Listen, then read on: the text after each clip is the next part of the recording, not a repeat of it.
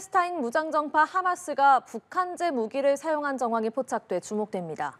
미국 자유아시아 방송은 워 누아르라는 군사 블로거를 인용해 하마스가 이스라엘을 공격하는 모습이 담긴 영상에서 하마스 대원이 북한제 F-7 로켓 추진 유탄 발사기를 소지한 것이 확인된다고 보도했습니다.